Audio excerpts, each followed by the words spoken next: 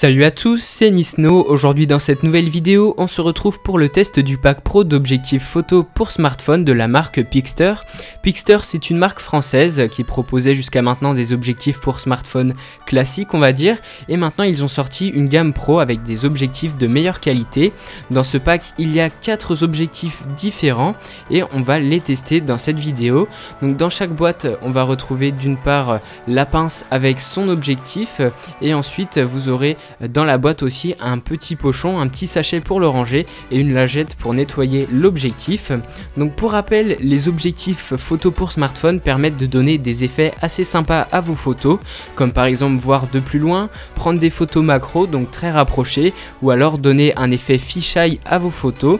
Si vous ne savez pas encore ce que c'est, on va le voir dans la suite de la vidéo. Donc voilà par exemple à quoi ressemble un objectif, celui-ci c'est le téléphoto qui va vous permettre de voir beaucoup plus loin en prenant des photos avec votre smartphone. Donc voilà comment on le met, il y a simplement à le glisser sur la pince, à le visser dessus et ensuite avec la pince vous le mettez sur votre smartphone. Donc là je suis sur un iPhone mais ça fonctionne avec la plupart des smartphones du moment que l'appareil photo soit un minimum accessible avec la pince. Ici on a l'objectif fisheye, donc de la même manière on le visse sur la pince et on va pouvoir l'accrocher très simple d'utilisation sur son iPhone. Donc là on voit un peu ce que ça donne mais dans la suite de la vidéo je vais vous montrer des exemples avec des photos avant après la mise en place de ces objectifs. Donc ces objectifs sont pro et sont prévus pour des personnes qui aiment vraiment prendre des photos avec leur smartphone car le prix est un petit peu plus élevé, on va le voir aussi dans la suite de la vidéo. Donc là, euh, ce dernier objectif, c'est le grand angle. Il va vous permettre de voir plus de choses avec votre smartphone sans pour autant déformer la photo. On le voit ici. Maintenant, on va voir de plus près ces objectifs. Là, c'est le fisheye. On dirait vraiment des mini objectifs d'appareil photo. Les reflets dessus sont très beaux.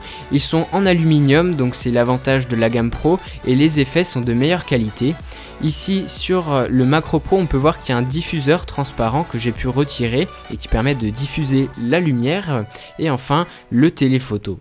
Donc maintenant on va passer aux photos comparatives. Donc là à droite on a le téléphoto qui permet de voir de plus près. Donc là c'est pas forcément évident mais on va le voir tout de suite après. Regardez sur cette photo à droite c'est j'ai utilisé l'objectif et on peut voir qu'on voit beaucoup plus loin notamment au niveau de la tour qu'on voit à droite. Maintenant le grand angle on peut voir qu'on voit beaucoup plus de choses lorsqu'on prend une photo avec cet objectif. Ensuite, on va passer au super fisheye. Donc là, si vous ne connaissez pas, c'est un effet un peu GoPro, c'est-à-dire que c'est une vue arrondie. Et là, ce qui est super avec ce fisheye, c'est qu'il n'y a pas de contour noir. Et voilà, enfin, le Macro Pro qui permet de prendre des photos de très près sans pour autant que la photo soit floue. Donc là, je me suis amusé à prendre une petite vidéo avec le fisheye et ce qui est cool dans cette euh, version pro de leur objectif, c'est qu'il n'y a absolument pas de contour noir rond autour de la photo et ça, ce n'est pas possible avec n'importe quel objectif euh, que vous pouvez trouver sur internet. Donc là, la gamme est plus chère je vais vous expliquer. Donc déjà, ce sont des objectifs de très bonne qualité. Là-dessus, il n'y a absolument rien à redire.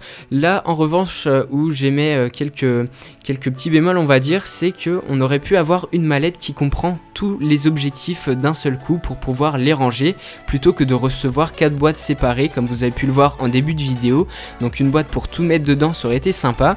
Et en plus, les petits sachets que je vous ai montré, les petits sachets noirs pour les mettre dedans, et eh bien avant d'ouvrir le sachet, on ne sait absolument pas sur quel objectif on va tomber. Donc pour le rangement, c'est pas super cool. Ça aurait été bien qu'il y ait un nom dessus par exemple. Donc comme je le dis sur les objectifs, il n'y a rien à dire. En revanche, sur la présentation, ça aurait mérité un petit rangement pour tout mettre dans une seule boîte. Donc vous pouvez acheter ces objectifs euh, séparément, ça coûte entre 40 et 50 euros. Et si comme moi vous avez le pack pro, et eh bien ça revient à moins cher par objectif.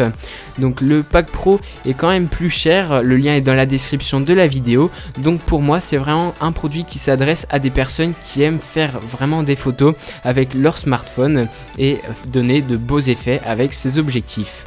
C'est tout pour cette vidéo, si elle vous a plu n'hésitez pas à mettre un petit pouce bleu et à vous abonner à ma chaîne pour plus de tutoriels et tests high-tech. Et moi je vous dis à très bientôt pour une prochaine vidéo.